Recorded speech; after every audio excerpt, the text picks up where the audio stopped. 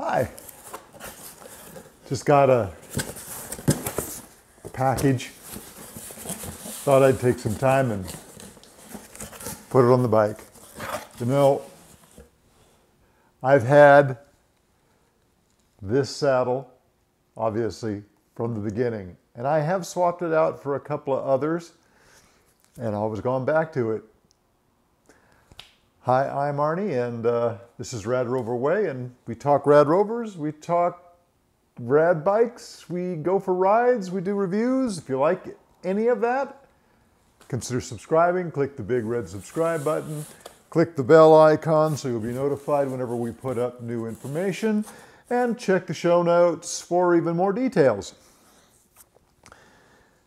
The old Velo Plush or whatever it was called, I can't read it now, it's worn off, has, you know, that's the saddle the bike comes with. I've tried, I put a Brooks on almost right after getting the bike, and because I had a Brooks for years when I was much younger, but boy, my butt could not get used to the Brooks this time. It could be that my butt has just gotten too old. and I tried a couple others. Well, I've decided to go it again because if you've been watching any of my videos of late, there's a lot of creaking going on here, and I don't know if the saddle is giving way or what, but um, I just thought I'd give another saddle a try, and I found one that's called the Wittkop Medicus Air. It's a Wittkop is a German company, uh, although, as you can probably imagine, in this day and age, it's not made in Germany. Uh, it's made in China, like just about everything else in the world. And uh, it looked interesting, so I thought I'd give it a try. Has all these interesting ergonomic design, memory foam, five zone concept, whatever that means, grip, airflow. Um, so let's take this out of here and see what it looks like.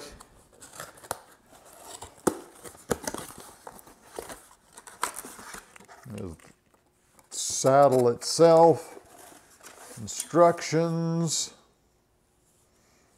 Hmm, don't know if that's going to be worth anything, but and it talks about it gives you different colored things here, seating area, raised padded thing, um, no pressure area, comfort area, escape area, escape area in green. I don't know if you can see any of this, probably not. But it, it does look comfy. Kind of feels comfy. Right up front, red cross. what could that possibly mean? I don't know. We'll see. I am going to have to remove part of this because it's built meant to go right on to the seat post. But I've got this puppy on here. And so I'm going to have to do a little bit more work. So I'm going to have to get some tools together and I don't know.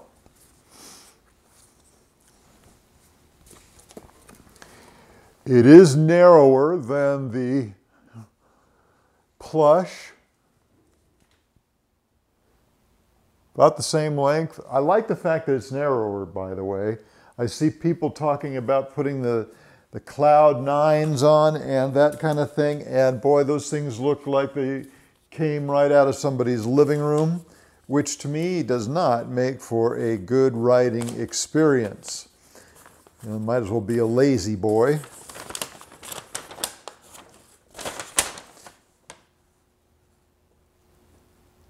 By the way, I did mention this. This is the Medicus um, trekking saddle. So it's a little bit wider than their other, there's three models or something like that.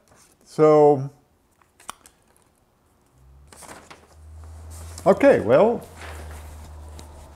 I'm going to get, gather some tools together and get this taken apart. One of the things I'm not too thrilled about is that it's black. I would have liked to stayed with that brown color scheme, but what are you gonna do? First thing we'll do is we'll take off, can you see that? That clamp for the seat post. We'll get that out of the way. Try not to scratch anything in case I do have to send it back. Nice thing about buying, buying from Amazon. What are your thoughts about that? I do a lot, and I'm not always thrilled with my decision to, do that. But it's so convenient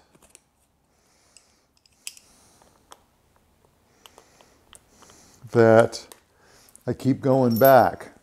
So my Thudbuster here, I have to loosen the rails up here to take this out. And this is not the easiest thing to do, but we're gonna, so I may speed this up because it might take me a little bit of time.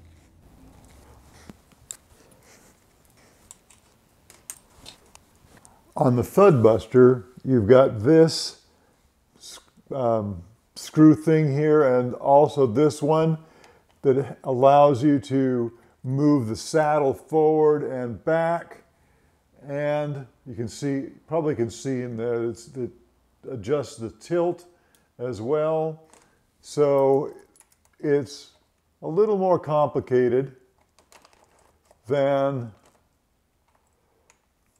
traditional seat posts. I try not to loosen it too much. I don't want them to come out. It's really hard to put them back, put this thing back together.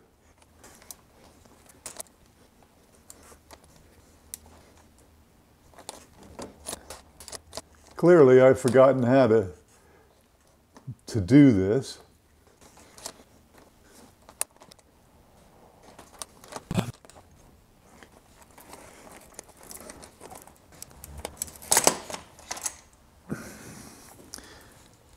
It's, it's a struggle. Okay, let's put this other one on here.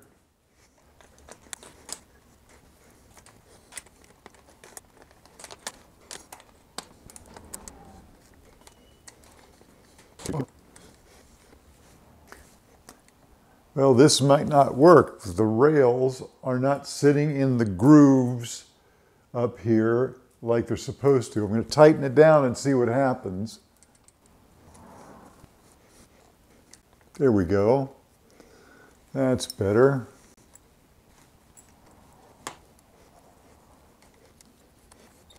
So with the Thudbuster, you need to tighten the front and the back to make for a level and to make for a level saddle and I don't think I'm going to have that much room to play with. There is, the, the rail isn't as long. So you can possibly see when I adjust it, it raises the nose.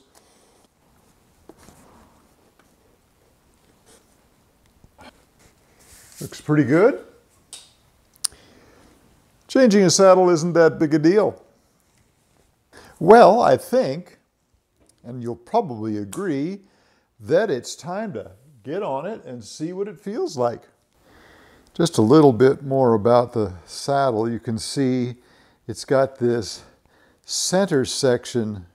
It's got this center section cut out here and it has these fins in the bottom that supposedly force air up into your crotch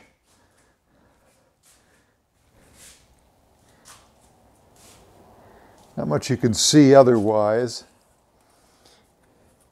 It's not, it's not as, the, the, the fabric here is not as, uh, I shouldn't say fabric, the surface isn't as smooth and slick as the one that comes with the bike. We're going to give it a short little tour down the block and see what it feels like.